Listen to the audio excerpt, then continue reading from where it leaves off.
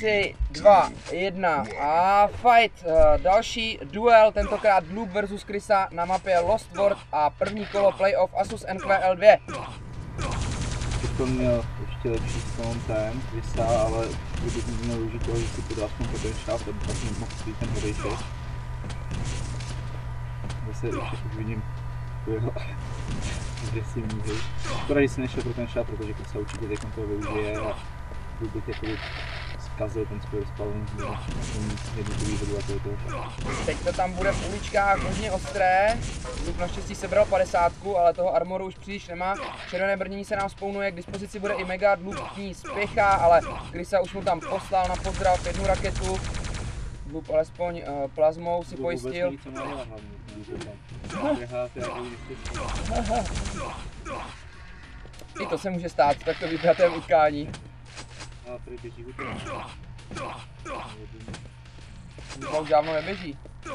Je taky asi trošku zvolený, nebo se tam Hudbu si za když, hudbu si když tak vy, vypněte vy. Jo, přesně fragma tady mlaská, každý si vzal po pár korkách a právě si vzal rovnou dvě takový koláče pici a Kdyby tam byli.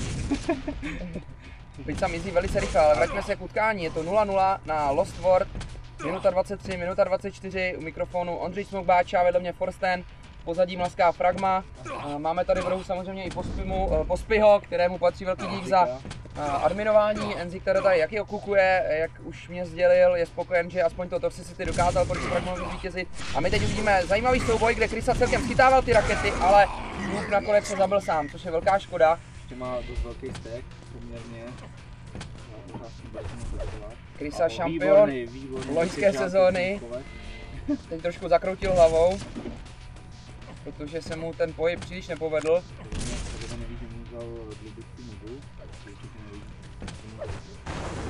Luke Seskakuje a teď to byla pěkná raketa v podání Duba, který šel agresivně do toho a nakonec sklízí ovoce. Vidět, že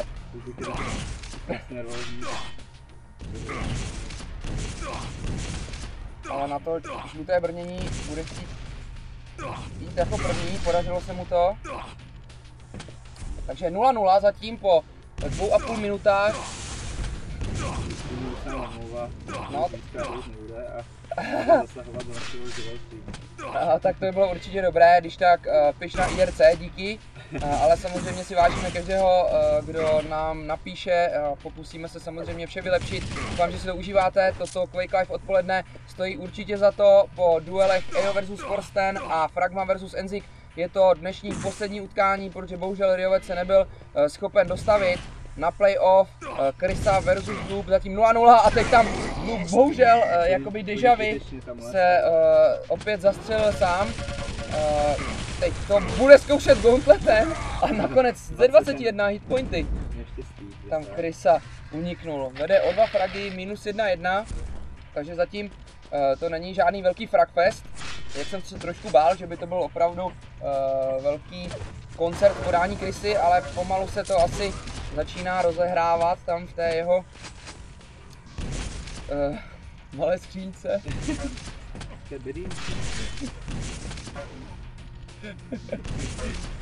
Pandozina. To tam teď dostal, bohužel sežrat u výlezu z teleportu. Já, já bych prosil rage quit, protože to si bude těžké za to nějakým způsobem řešit. Ale udržíme si si samozřejmě ještě profesní přístup, nebo spolukomentátora vyměníme. Už mlčím. Když dobře vypadáte, lidi se k vám rádi vracejí. Ale teď opět souboj, ve kterém, Krásná, výborná plazma, udělá asi 100, 150 životů. takže oba dva hráči zemřeli a Duke samozřejmě se z toho bude snažit vytěžit maximum, bude se nám spounovat Mega a Duke se snaží zuřivě najít v Krysu v útrobách mapy Lost World.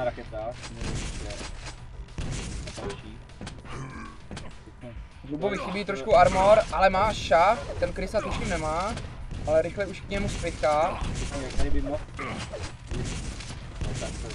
Mega je ve hře a teď aspoň to červené brnění, Lube, škoda, Krysa perfektně uh, seskočil a poslal tam paralelně raketu, uh, což znamenalo smrt pro Dluba 5-0 na mapě Lost World, tak zatím šampion loňské sezóny uh, potvrzuje roli favorita, ale samozřejmě bude muset zvítězit eh, ještě na dvou mapách, pokud Lost World vyhraje, protože se hraje systémem Best of 5, což znamená, že hráč vítězí v okamžiku, kdy na svém kontě má tři vyhrané mapy.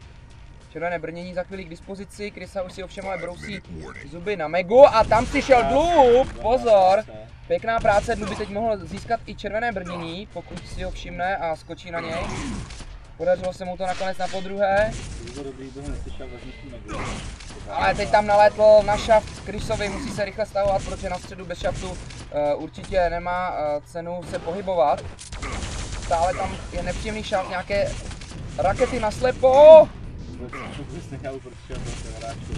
Je vidět, že hraje opravdu na hranici svých možností. Wow, tak to byl Raken Jump, teda. To bylo,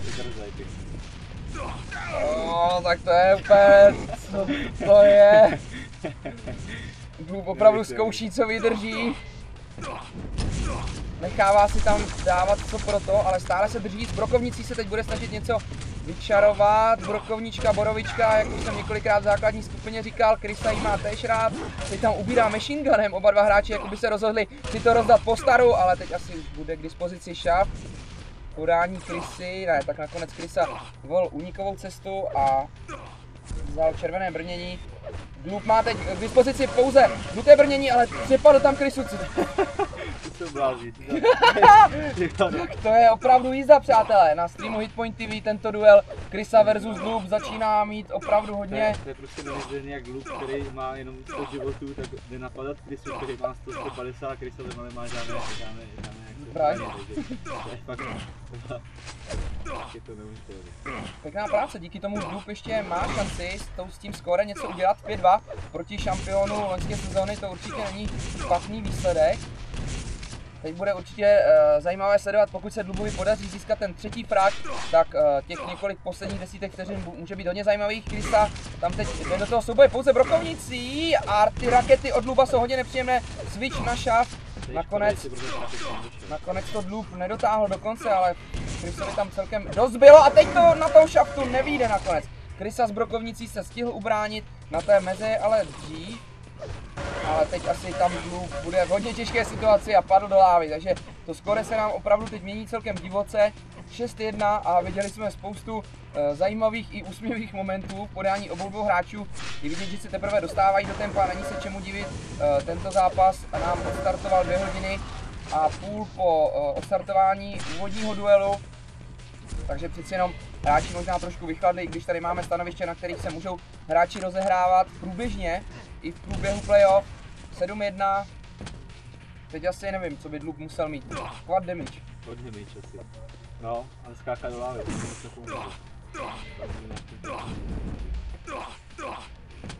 33% na šaftu v podání Dluba, to taky není špatný. Už jednou s plazmou ukázal, že umí. Krysa, rocket jump, Třeba mě zajímá, kolik má tam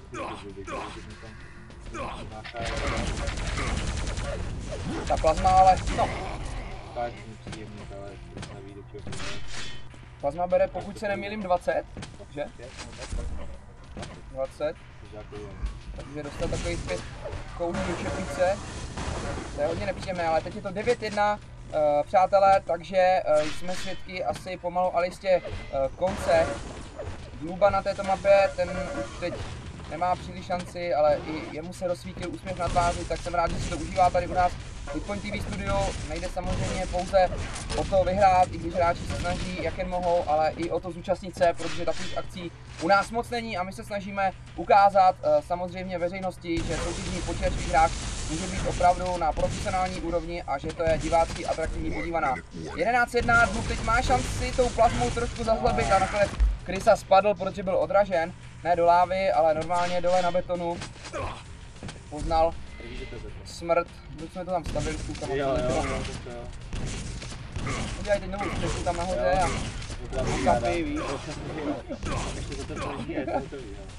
podle toho, jestli hraje s texturama, tak tam máme i tapety. Do Vortexu, jo. 9.29, 9.30 a nám tedy eh, tady v přátelské atmosféře v komentátorském stanovišti ubíhá Eh, poslední část eh, mapy Lost Sport, kterou si vybral Krisa a potvrdil na ní eh, své kvality 10-2. Není ale žádná ostuda pro Duba, který předvedl nějakých pár pěkných situací. No a jsem zvědav jak na Toxicity, protože tam asi bude pro Dluba jedinečná šance něco ukázat, protože pokud padne na Toxicity nějakým větším poměrem, tak to bude asi víceméně jednoznačné utkání 3-0 pro našeho šampiona. A je konec, přátelé, 10-2. Krisa vyhrává na Lost World Luxy oddychuje a my za malý okamžik uvidíme mapu číslo 2.